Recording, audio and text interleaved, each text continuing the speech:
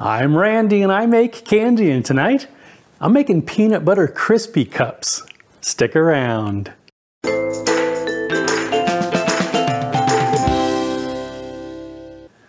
Greetings my confectionery compadres and welcome to Randy Makes Candy, where I help you make tasty treats that people love to eat.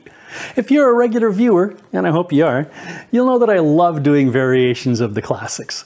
The other day, I asked myself what a peanut butter cup would be like if the top was similar to a Nestle's Crunch Bar.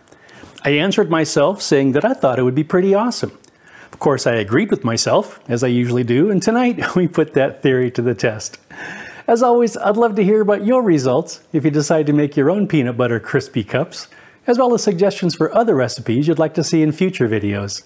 For this recipe, I'm using one and a half cups of chocolate, one quarter cup of peanut butter, 2 tablespoons plus 2 teaspoons of powdered sugar, 1 quarter teaspoon of salt, 1 quarter tablespoon of corn syrup, and 1 half cup of chocolate crispy rice.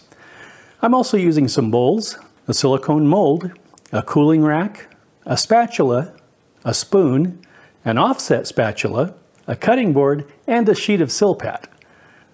Okay, let's make some candy.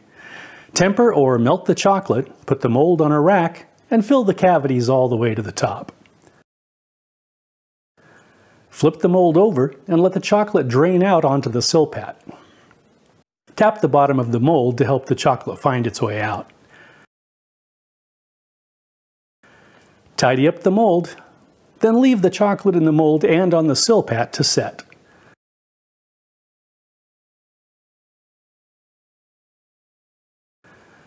When the chocolate is set, combine the peanut butter, powdered sugar, salt, and corn syrup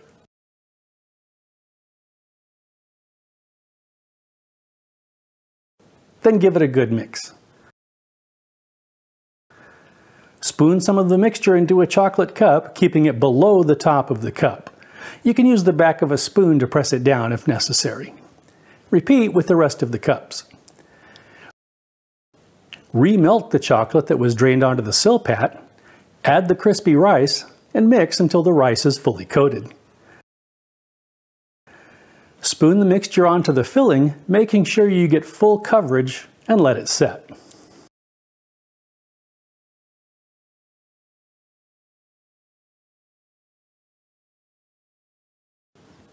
And that's it.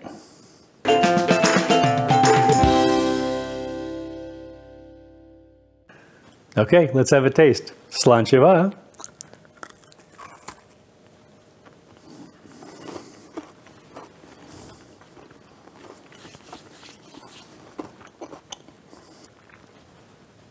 This was a really, really good idea.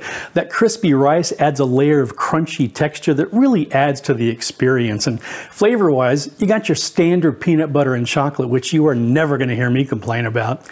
Mrs. Randy Makes Candy says that it tastes like five candies in one. I'll tell you what, compadres, if you're looking for a twist on a classic treat, you really ought to try these. If you enjoyed your time here in the Candy Kitchen, please like, share, and subscribe. Thanks for sticking around, and I hope you'll join me next time. As well as suggestions for other recipes you'd like to see in future. So close. Mrs. Randy Makes Candy says that is.